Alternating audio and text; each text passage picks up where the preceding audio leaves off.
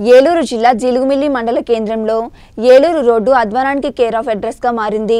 ఇద్దరు ఎమ్మెల్యేలు మూడుసార్లు శంకుస్థాపన చేసిన రోడ్డు దుస్థితి మాత్రం ఎక్కడ వేసిన గొంగలి అక్కడే ఉన్న చందంగా ఉంది. ఎమ్మెల్యేలు శంకుస్థాపన చేసిన రోడ్డు నిర్మాణం జరిగిపోతుందని తాటాకు చప్పుళ్ళు మాటలు చెప్పినా గుంత పోడ్చలేదు బురద పోలేదు అన్న చందంగా రోడ్డు పరిస్థితి మారింది.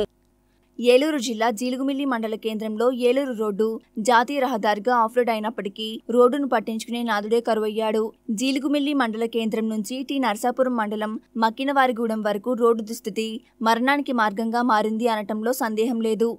గత ఇరవై ఏళ్ళుగా రోడ్డు నిర్మాణం సంగతి ఎలా ఉన్నా కనీసం మరమ్మతులు చేయకపోవడంతో రోడ్డు దుస్థితి వర్ణనాతీతం అనటంలో సందేహం లేదు. పాదచారుల నుంచి వాహనదారుల వరకు ఈ రోడ్డు వెంట ప్రయాణం అంటే మరణానికి మార్గంగా ఉందనడంలో సందేహం లేదు. రోడ్డు నిర్మాణం పేరుతో కొందరు ప్రజాప్రతినిధులు పర్సెంటేజీలు చాలక నిర్మాణాన్ని అడ్డుకున్నారనే విమర్శలు ఉన్నాయి. మరికొందరైతే నిర్మాణం చేపట్టకుండానే రోడ్డు నిధులు కైంకర్యం చేశారనే విమర్శలు ఉన్నాయి. పాలకుల నిర్లక్ష్యానికి ప్రజలకు ప్రాణ సంకటంగా మారుతుందని తీవ్ర ఆగ్రహం వ్యక్తం చేస్తున్నారు. అధికారులు స్పందించి రోడ్డు మరమ్మతులు వెంటనే చేపట్టారని ప్రజలు డిమాండ్ చేస్తున్నారు.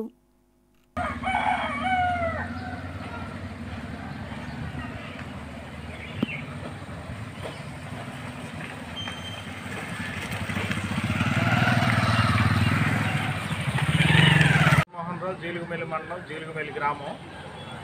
ఈరోజు ఏలూరు జిల్లా జీలుగుమెల్లి మండలం జీలుగుమెల్లి మండల కేంద్రంలో గత దశాబ్దాలుగా జీలుగుమెల్లి నుంచి ఏలూరు వెళ్ళే రోడ్డు తీవ్రమైన అధ్వానంగా ఉన్నది. ఏ ప్రభుత్వం వచ్చినా ఏ ప్రజాప్రతినిధులు వచ్చినా కూడా ఈ రోడ్డుని పట్టించుకునే పరిస్థితి లేదు. గతంలో ఉన్న తెలుగుదేశం ప్రభుత్వం కానీ ఈ ప్రభుత్వం కానీ ఈ రోడ్డుని దాదాపు పాతిక ఇరవై సంవత్సరాల నుంచి పట్టించుకొని బాగు చేద్దామనే దాఖలాలు లేవు. ఇది మండల కేంద్రం. వేలాది మంది రోజు కూడా వచ్చి వెళ్తూ ఉంటారు. ఇక్కడ ఈ రోడ్డు దుస్థితి ఎలా ఉన్నదంటే ఆటోలు మోటార్ సైకిళ్ళు తిరగబడిపోయే పరిస్థితి పాదచారులు కూడా నడవలేని పరిస్థితి మురుగుంటలతో మరి రోడ్డు చాలా అధ్వానంగా మారిపోయింది. మరి గతంలో జడ్పీటీసీ నిధుల నుంచి ఒక నలభై లక్షలు వచ్చినప్పటికీ మరి కమిషన్ల కోసం అప్పుడున్న అధికారులు ప్రజాప్రతినిధులు కక్కుర్తిపడి రోడ్డు వేయకుండా ఆపేశారు.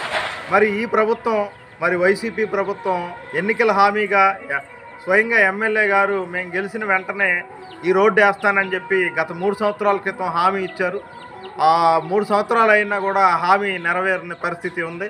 ఈ జీలిగిమెల్లి మండల ప్రజాప్రతినిధులు నాయకులు కూడా మరి ఈ పాలచర్ల మండల కేంద్రం ఏలూరు వెళ్ళే రోడ్డుని పట్టించుకున్న దాఖలాలు కనపట్లేదు అందుకని ఇప్పటికైనా అధికార పార్టీ నాయకులు అధికారులు స్పందించి ఏలు జీలుగుమెల్లి నుంచి ఏలూరు పాల్చర్ల మీదుగా ఏలూరు వెళ్ళే రోడ్డుని తక్షణం బాగు చేయాలని మేము జీలుగుమెల్లి గ్రామ ప్రజలుగా ప్రజాప్రతినిధులుగా మరి డిమాండ్ చేస్తా ఉన్నాం.